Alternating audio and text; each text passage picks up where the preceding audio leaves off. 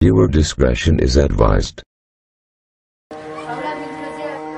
All these children are addicted to drugs. The teacher's just been going along the row of children, telling me how old these children are, what they're addicted to. All of these little children on this row are addicted to heroin.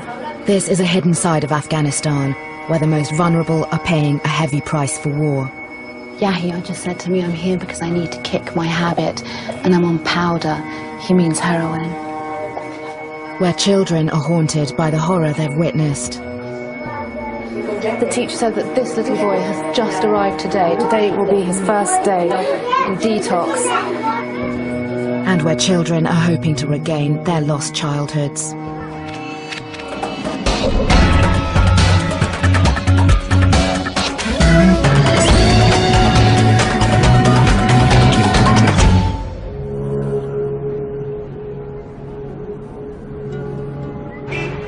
Kabul is known to the world as a place of checkpoints and suicide bombs.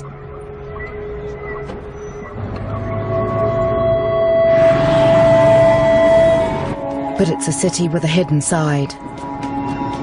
We're in West Kabul, in one of the poorest parts of the city, one of the highest rates of unemployment. I'd been told something was happening here that until recently was unknown in Kabul. Hundreds of addicts gathering to buy and take drugs. We've heard that the spot is under the bridge here.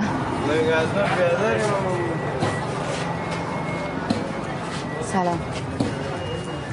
Right, this is the bridge. And there's a really, really bad stench. It's a dried riverbed here, full of rubbish. Alam migira. Oh, wow, look at this scene. There are a few hundred men here, crouched among the rubbish and looking at the floor. It's just full of needles. And you can see people using all around me. The men were happy to talk to me.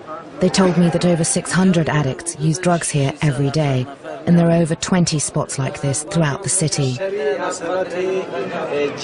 چی استفاده میکنی؟ هروئین تریاک؟ This gentleman here says everybody here is taking heroin. the UN estimates that 8% of the adult population has a drug problem. But the men told me of a new development. Every day, more and more young boys were turning up under the bridge, and they were all addicts. They called one boy over. Ibrahim is only 15. He'd been smoking heroin since he was 13. How many of your friends take drugs? Ibrahim says that five of his friends who are the same age as him, 15, are using drugs. He said he suffered from depression. Ibrahim says he started taking drugs because both his parents were killed eight years ago in the war in bombings. Other boys arrived to speak to me. The stories they told were of lives and families torn apart by the war. Najib is 16 and started using heroin when he was just 12 years old. Najib says that most of his friends use drugs. Yeah, they start young, they start from 11 years old. Over the last eight years, drug cartels have started to refine their vast opium poppy harvests into heroin, a more addictive and profitable drug. Now the Afghan street price for powder, as it's known, is the cheapest in the world. Some of the men under the bridge said that boys hang out on top of the bridge here. We met another young addict, 15-year-old Ali, who'd been using heroin for the past two years. Ali says he's bought his drugs and now he's going to go and do them somewhere else. Ali's mother was dead and his father had fled to Iran. He took me to where he was now sleeping rough, in a little park on a traffic island.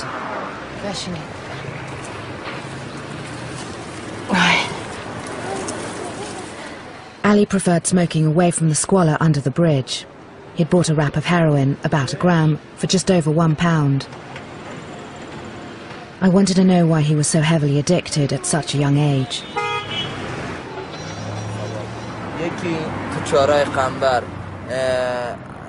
First he'd witnessed a suicide bomb in Kabul, then he went to stay with relatives in the countryside. He says while he was there, the Americans bombed his village and dozens of people died. He saw bodies scattered everywhere. He and other villagers had to pick up the bits of body and put them in plastic bags. Ali said the war in Afghanistan breaks his heart. He says, I'd, I'd rather not live than live through this war. Sometimes I just want to kill myself.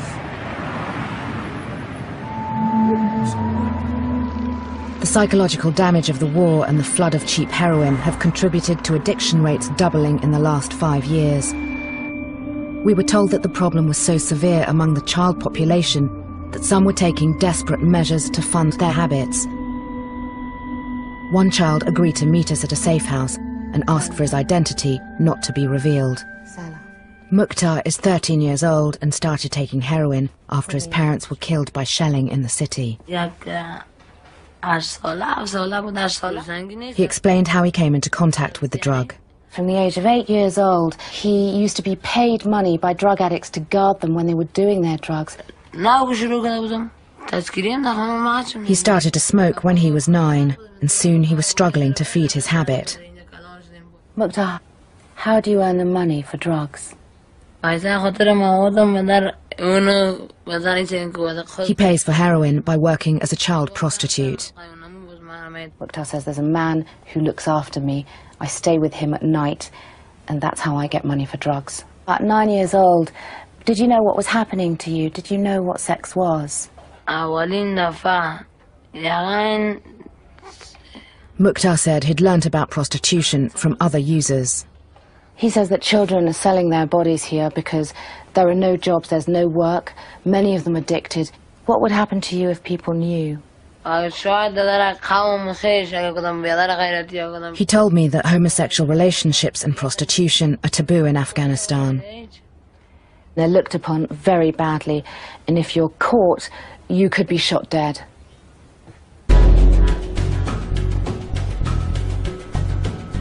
While I had met child addicts from broken families on the street, I was told there was also an increasing hidden epidemic affecting parents and children in their homes. So we're going to meet a group of doctors and social workers who make home visits in the old city in the centre of Kabul.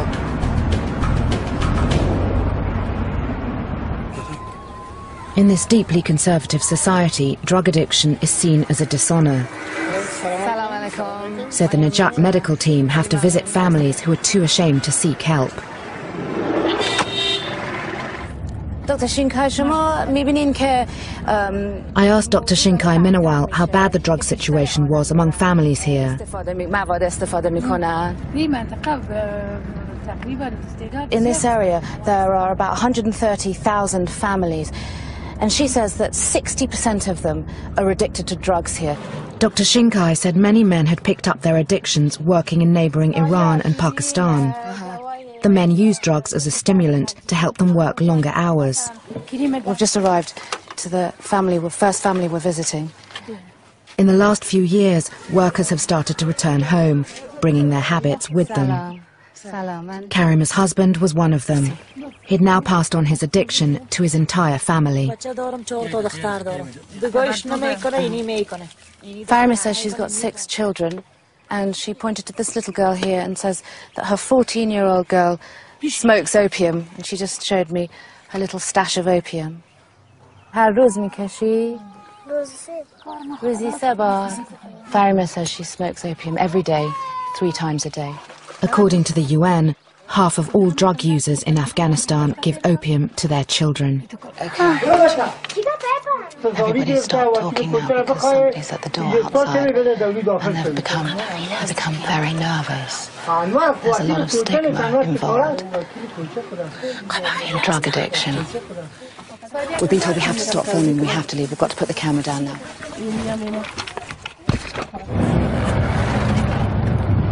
That just goes to show what a sensitive subject drug addiction can be in this country. An angry group of locals had gathered in front of the house and they were demanding to know what the doctors and social workers were doing. So we had to sneak out the back of the house. But the doctor told us to get out the area as soon as possible because situations like that can easily escalate.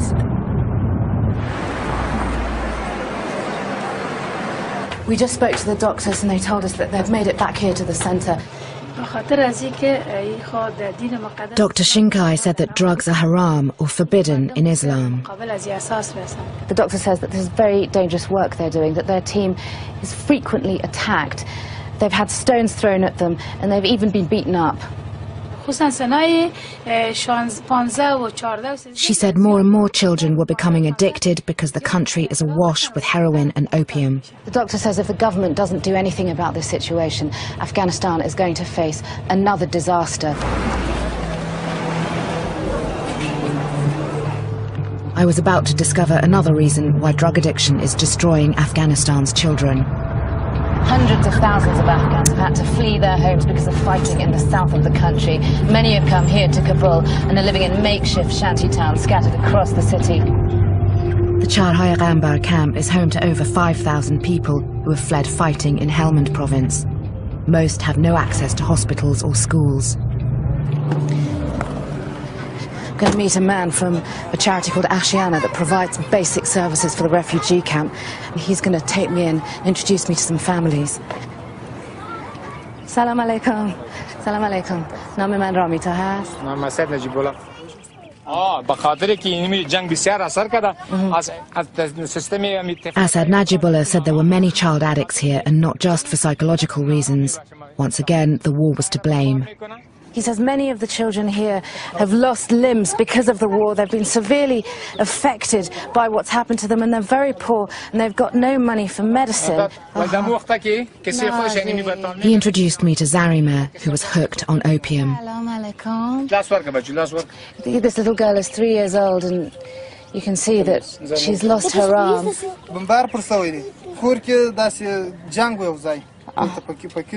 Her brother told me that their village had been attacked. There was fighting between the insurgents and the government, and then all of a sudden everything in sight was bombed. They didn't care whether they were enemy or not. They bombed all the civilians, and that's when his little sister lost her arm.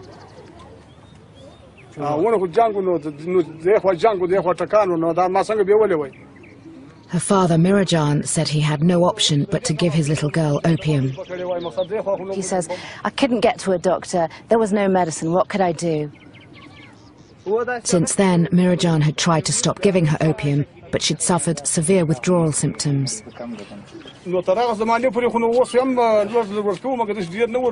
I asked when he thinks Zarima will stop taking opium, and he just said simply, well, I'll have to give her opium because she's an addict. Najibullah took us to meet another family. Salam alaikum. Gul Jumer is also addicted to opium. Her father told me what happened. Said Ghulam has just showed us his 10-year-old daughter here. A bomb hit their house during fighting. He lost four of his children. Two of his children were badly injured, including Gul Jumer. Sangin. Uh-huh. There had been no doctors in the village to help. This little girl's arm wasn't completely amputated, and there was a local man in the village that knew something of medicine who had to amputate her arm, and you can imagine the pain she must have been in. That had happened two years ago, and she was still in pain. Now opium was part of her daily life.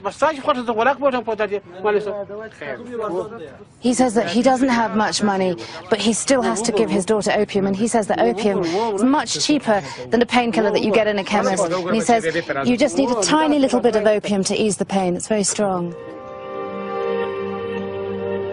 The families I met were left to fend for themselves. Government doctors rarely come to the camp and too few aid agencies are equipped to deal with child addicts. I wanted to find out the extent of drug use outside the capital. We headed 300 miles north to Badakhshan, one of the most remote and poorest areas of Afghanistan. You can see just how isolated this area is. In the last five hours we've been driving, we've only passed a couple of cars. Every now and again you can see a village dotted in the mountains. And for six months a year, most of this area is completely cut off from the outside world when it snows during winter. Criminal cartels, insurgent groups and corrupt government officials reportedly smuggle a quarter of all Afghan heroin through these valleys into neighbouring countries. The province also used to be one of the main opium poppy growing areas until an attempted eradication campaign. We went to a former opium farming village, Razrak, to find out what had happened since then. Salam alaikum. خوشحال شدم رامیتا هستم سلام علیکم مشکلات بزرگ چی اینجا؟ نفوس داره Chief Dwabeg told me there were 400 people in his village and now all of them used opium. He says we've got so many problems in this village, but our biggest problem is drugs. We've got so many villagers who are addicted. Men, women, and even the children of our village are all addicted to drugs. We were taken to meet a family. Salam alaikum. Salam alaikum. Naam man tahast. Talib Shah and his wife Mary Nagar told me out of their six children, three of them were opium addicts. 11-year-old Sangin Mamad had been smoking the drug since he was three years old soon as his dad said, it's time to smoke, he jumped up, knew exactly what to do. He just put his head on the pillow and he lay down here and he's just waiting for his dad to give him opium. Talib Shah explained his son has to smoke three times a day, otherwise he suffers from painful withdrawal symptoms.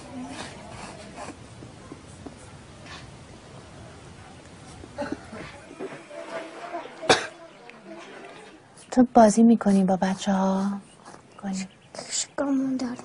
I'm just talking to Sangin Mamad and it's really sad because he's just a little boy but he's just out of it. He's talking to me in a whisper you just saw and he says that when he doesn't smoke he feels real pain and I asked him do you, do you ever go out and play with the kids, play with other kids? And he said no, no. I'm just in pain. Uh-huh. Mary Nagar originally gave her son opium to cure a stomach ache, but now the family take the drug for a very different reason. Mary Nagar says there's not enough food to feed the whole family, and when you smoke opium, you lose your appetite. Why don't you spend your money on food rather than opium? Talib Shah said food was more expensive than opium. To feed the whole family for a day costs about three pounds. But to buy about this much opium, which lasts a day, costs about two pounds. And when they take this, they feel less hungry, so they eat less. Do you have food in the house now?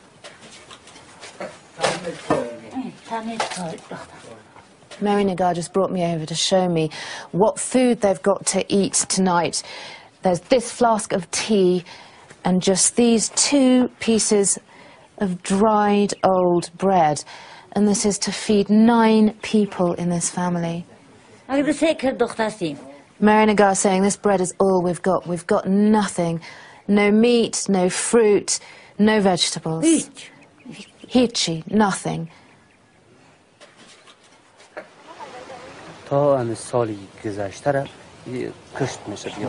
Outside, Joabek said they used to make enough money from growing opium to buy food. But since the government destroyed their opium crops, they had lost their livelihoods. Along with not being able to provide themselves with food, he said they no longer could afford basic medicine. Opium here is the answer to everything. They rely on drug dealers that come round from village to village, he says, selling the drugs, and they service the whole area. Joabek said what worried him the most was the rising number of child addicts in the village. The chief said it will be a disaster if the children of the village are not treated for drug addiction.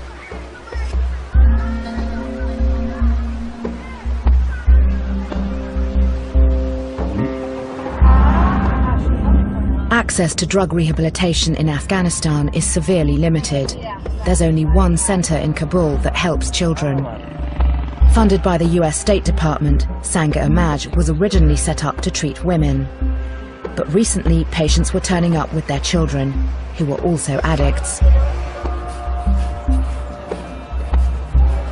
There's only room for 20 children. For the first part of the treatment, they're forced off the drugs, a process known as cold turkey. This causes excruciating headaches, joint pain, vomiting and shivering. I was taken to see a new arrival, nine-year-old Qalandar. This little boy has just arrived today. Today will be his first day in detox, his first day of withdrawal, and he's addicted to opium. And you can see he doesn't look very happy, he doesn't look very well, and you can see it in his eyes. The children here were at varying stages of their 45-day treatment. Most of them were from poor families whose parents had heard of the centre through word of mouth. چند سالشونه؟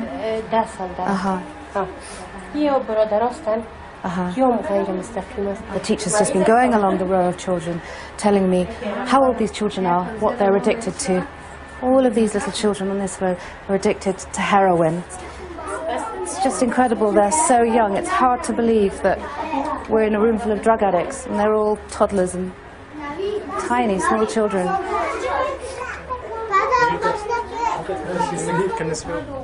I spoke to some of the children about their experience.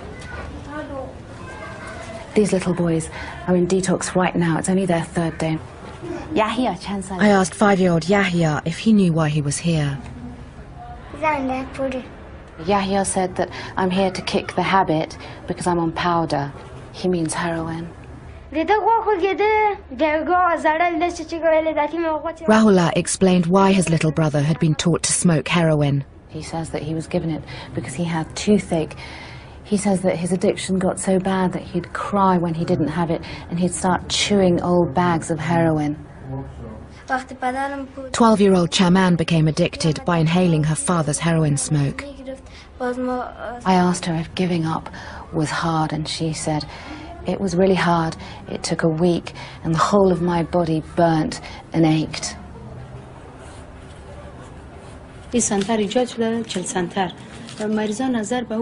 One of the doctors, Latifa Hamidi, said in the past two years there'd been a 60% increase in the number of child addicts turning up.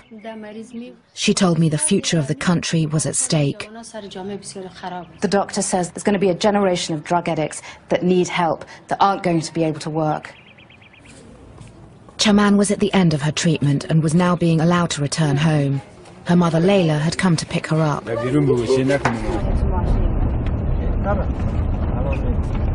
You can see that Chaman is smiling now. She was crying when she left the centre. That's because she's just found out that her father's not home.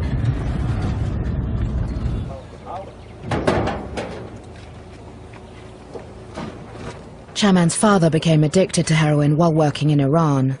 When he smoked at home, drug dependency spread through the family. Even Chaman's one and a half year old brother was affected.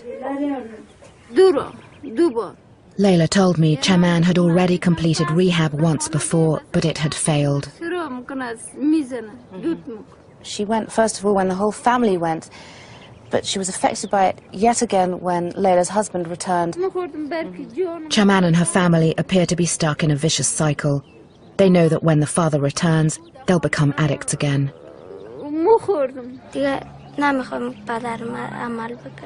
All Chaman wishes for in her future is that her father stops using heroin. She says, I just want him to get better. UK aid to Afghanistan is being increased by 40%. None of it is currently dedicated to any drug treatment programs. While the world's focus is on the fight against the Taliban, Afghanistan is being consumed from within by an equally serious and long-term threat. If you want to find out more about drug addiction in Afghanistan or any other issue covered on Unreported World, please visit our website at channel4.com slash unreportedworld.